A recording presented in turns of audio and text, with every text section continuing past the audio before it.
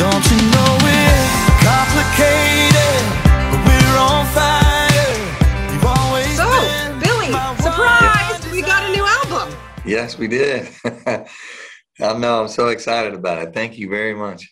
So it's called Intuition, which I, you know, I want to get to the title of the album because normally there's a bit of a title track, but not in this case. So I find that a little interesting. but first of all, I just wanted to know how long have you been hoping to put this out there? How long have you been holding on to this album with that little bit of different sound and wanting to do this? Oh, it's been well. We started the album in August of 2020, and we finished it in sometime in December of 2020.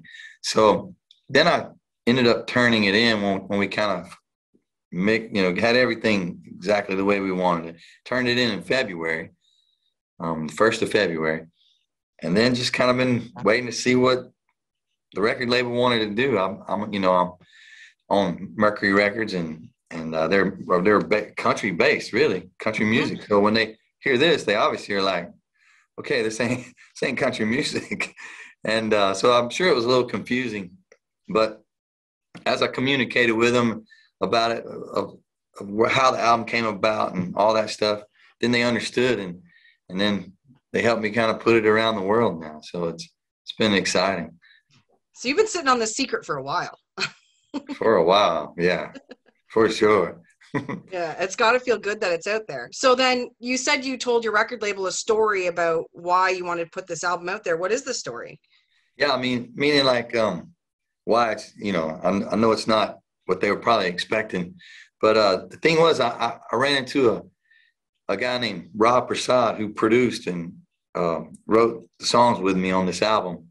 Um, he played all the music. He's just a great producer, and he he actually worked on something that I did out in L.A. one time, but I didn't meet him. I didn't, and I didn't know that was him that actually produced these tracks on this song that I wrote and, and mixed it.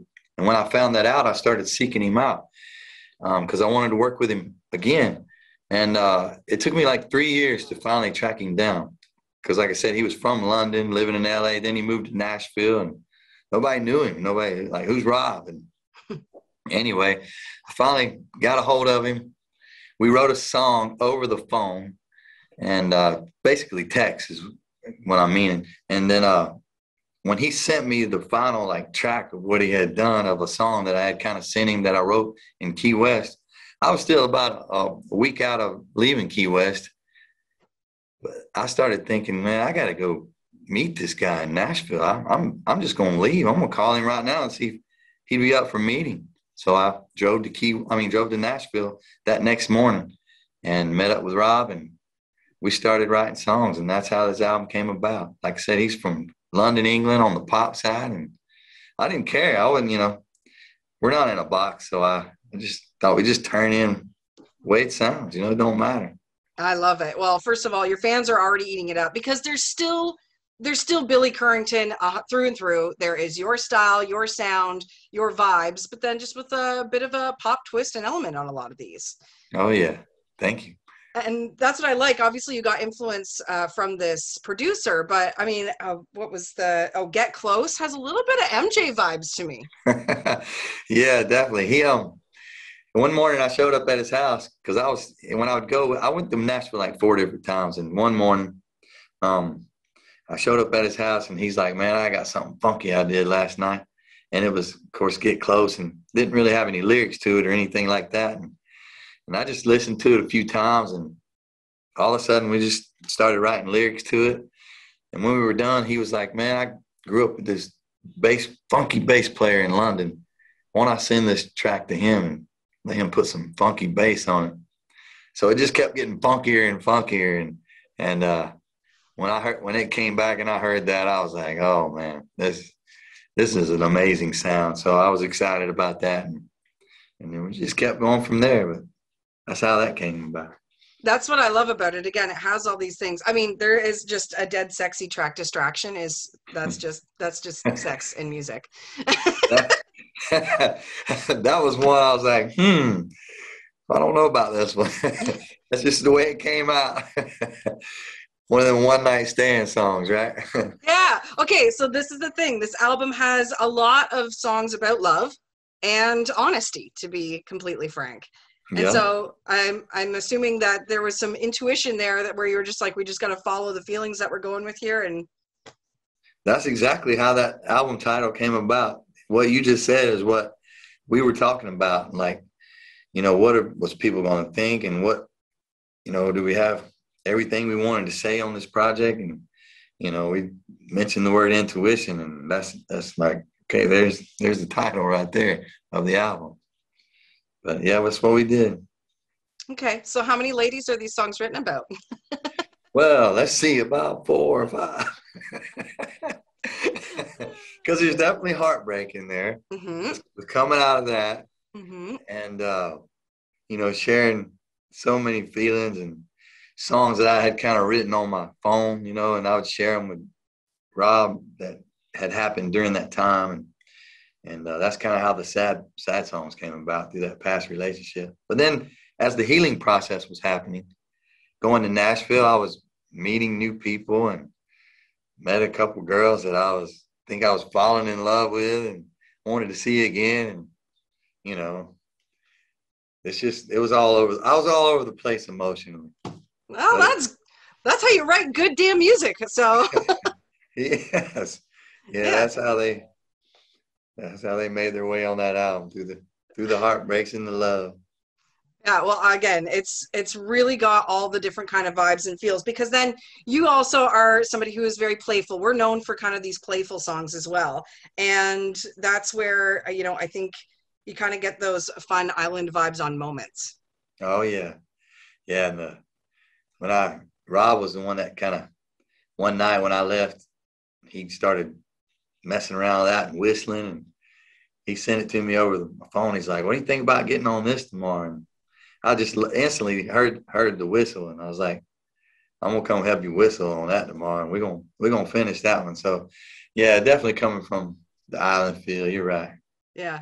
So then, are you excited to perform these live? You're such a fun performer as is, or are you a little bit? This is going to be different on stage. How do you do these? Right? yeah, you know, definitely going to see you because you can tell by numbers what songs are reacting the most with your fans and what do you think they're going to want to hear. So kind of look at that and and then take three or four or five maybe and work them up with the band and just play them, see how they go. Yeah. Like, especially like Get Close, that funky song. I definitely want to play that live. I want to play a song called Deja Vu. I love Yes. love that feel. Yeah, and uh, who knows after that? Just see what what what one comes. So, are there plans for the future to tour with this album, or am I too far ahead of myself? Because I mean, this album just was a surprise. yeah, no, I mean it's all, all along. It was um when I turned it in, I I, re- I requested or my wishes were I wanted this to, to go everywhere, all over the world, global, and um so that's what they did. They placed it everywhere, and uh, so we're we're looking at a like whatever you call a world tour, however many countries you can fit in that.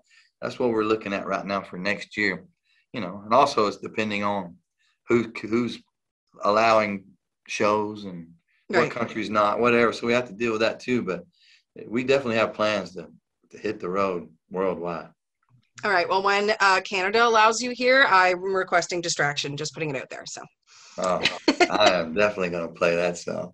yay! I know how you think. Mm, no, you don't. What are you talking about? Uh, so I wanted to talk to you about a couple other things too. I know you've got a few of these to do. So just really quickly, clearly you found some music and went through just a little bit of a different sound to enjoy uh, what you do best during the downtime of COVID. I'd like to also assume that when I, if I'm going to ask you what you got up to during a pandemic, you likely um, were on a surfboard because That's you're right about that. yeah, yeah. oh yeah. Mostly, mostly any any morning that the ocean provided waves, I was out there. yeah. And, uh, definitely a, a good place to heal from, you know, like I said, going through breakups, breakup, whatever you want to call it. I'm not gonna single no one person out, but you know, might have came out of something. and uh, surf between surfing and going to hang out with Rob and going out to Key West and doing some fishing. that was my three main things that I did. Yeah, well, that seawater is good for the curls. I know that. So, Yes, for sure. Yes, it's it's an amazing place to be. So I actually had uh, a friend that works with us. It's a big fan of yours. She said you got to ask him if he's coming up with a sunscreen deal or something that'll be sold at the merch tent soon. Because all you do is spend time in the sun. So, Yes, I got something for you. I've never in my life that I recall, maybe as a small kid, but I've never wore sunscreen. what? Never. Oh, I don't know if we're allowed to advertise that.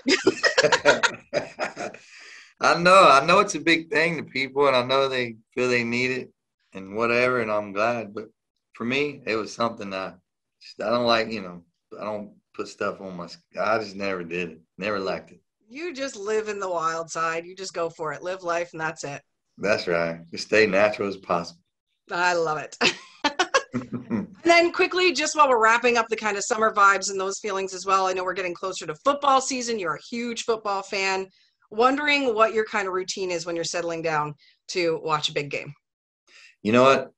I, honestly, this this time of my life and just past few years, I hadn't watched a lot of football, even though I love it more than anything.